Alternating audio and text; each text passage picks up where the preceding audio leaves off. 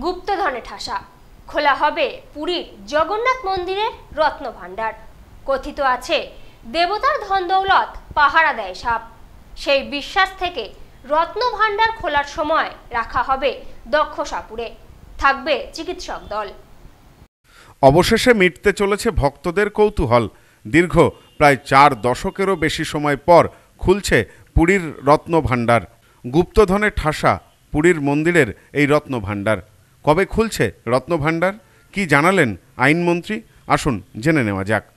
পুরীর জগন্নাথ মন্দিরের রত্নভাণ্ডার খোলার দিন অবশেষে ঘোষিত হলো। প্রায় চার দশকেরও বেশি সময় পর আগামী চোদ্দোই জুলাই, অর্থাৎ আগামী রবিবার, ভক্তদের সমক্ষে আনা হতে পারে পুরীর জগন্নাথ মন্দিরের রত্নভাণ্ডার এমনটাই ঘোষণা ওড়িশার আইনমন্ত্রীর। শ্রী জগন্নাথ টেম্পল অ্যাডমিনিস্ট্রেশনের পক্ষ থেকে যে প্রস্তাব পেশ করা হয়েছিল, তাতেই শিলমোহর দিল ওড়িশার বিজেপি সরকার। এ বিষয়ে রাজ্যের আইনমন্ত্রী পৃথ্বীরাজ হরিচন্দন বলেন একথা প্রায় নিশ্চিত সব কিছু ঠিকঠাক থাকলে আগামী চোদ্দোই জুলাই খোলা হবে পুরীর মন্দিরের রত্নভাণ্ডার। জগন্নাথ মন্দির কর্তৃপক্ষের তরফে যে প্রস্তাবগুলি দেওয়া হয়েছে, সেগুলি সমস্ত দিক বিচার করে দেখা হচ্ছে। পাশাপাশি এ বিষয়ে শ্রী জগন্নাথ টেম্পল অ্যাডমিনিস্ট্রেশনের মুখ্য প্রশাসক বীর বিক্রম যাদব বলেন, বিচারপতি বিশ্বনাথ রথের নেতৃত্বাধীন ষোলো সদস্যের কমিটি জগন্নাথ মন্দিরের রত্ন ভাণ্ডার নিয়ে একাধিক প্রস্তাব দিয়েছে। এই ভাণ্ডার খোলার জন্য স্ট্যান্ডার্ড অপারেটিং প্রসিডিওর নির্ধারণ করে দেওয়া হয়েছে। তার সাথে আরও একাধিক পরামর্শ দেওয়া হয়েছে। সেগুলি সরকারের কাছে পাঠানো হয়েছে। রত্ন ভাণ্ডার খোলার প্রক্রিয়ায় সেগুলি আলোচনা করা হবে। জানা যায়, এই রত্ন ভাণ্ডারের চাবি গত ছ বছর ধরে নিখোঁজ। তবে একটি ডুপ্লিকেট চাবি রয়েছে শ্রী জগন্নাথ টেম্পল অ্যাডমিনিস্ট্রেশনের কাছে। সেটি ইতিমধ্যেই উচ্চ পর্যায়ের কমিটির কাছে জমা করতে বলা হয়েছে। বিচারপতি বিশ্বনাথ রথ জানিয়েছেন, যদি ডুপ্লিকেট চাবি দিয়ে রত্নভাণ্ডার খোলা না যায়, সেক্ষেত্রে ভেঙে ফেলা হবে রত্নভাণ্ডারের তালা। রত্নভাণ্ডারের সমস্ত সোনাদানার পরিমাপের কাজও হবে, শুরু হবে সংস্কারের কাজ। উল্টো রথের আগেই সমস্ত প্রক্রিয়া শেষ করার টার্গেট নেওয়া হয়েছে বলেও জানা গেছে। জানা যায়, হলফনামা অনুসারে রত্নভাণ্ডারের ভেতরের চেম্বারে পঞ্চাশ কেজি ছশো গ্রাম সোনা এবং একশো চৌত্রিশ কেজি পঞ্চাশ গ্রাম রূপো রয়েছে। বাইরের চেম্বারে পঁচানব্বই কেজি তিনশো কুড়ি গ্রাম সোনা এবং উনিশ কেজি চারশো আশি গ্রাম রূপো রয়েছে। বর্তমান ঘরে তিন কেজি চারশো আশি গ্রাম সোনা এবং তিরিশ কেজি তিনশো পঞ্চাশ গ্রাম রূপো রয়েছে। উনিশশো সালের পর উনিশশো পঁচাশি সালে রত্নভাণ্ডারটি খোলা হয়েছিল। কিন্তু তা কেবলমাত্র মেরামতের জন্য।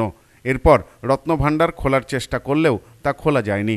অবশেষে সেই রত্নভাণ্ডারের ডুপ্লিকেট চাবির হদিশ পাওয়া গিয়েছে।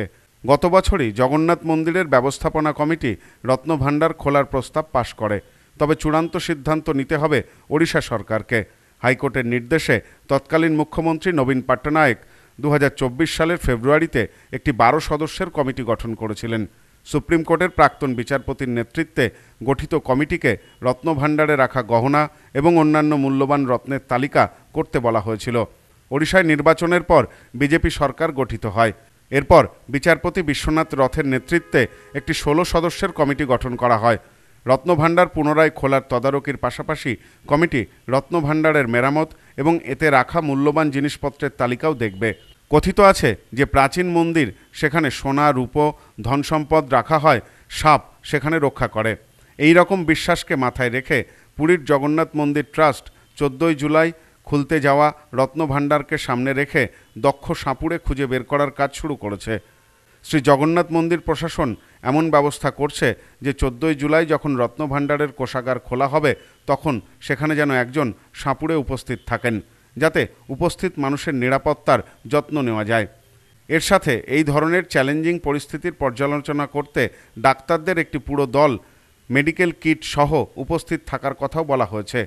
সব কিছু ঠিকঠাক থাকলে আগামী চোদ্দোই জুলাই রবিবার খোলা হবে পুরীর মন্দিরের রত্নভাণ্ডার। অধীর আগ্রহে অপেক্ষায় রয়েছেন ভক্তেরাও। Bureau report, news, no man's land, Odisha. সবার পায়ে সবার পছন্দের উন্নত গুণমানের জুতো প্রস্তুতকারী সংস্থা সুনীতি ফুটওয়্যার ডিস্ট্রিবিউটারশিপের জন্য যোগাযোগ করুন eight six one seven double eight three four nine three office Bongaon, Uttar Chabbish Pargana, Paschimbanga.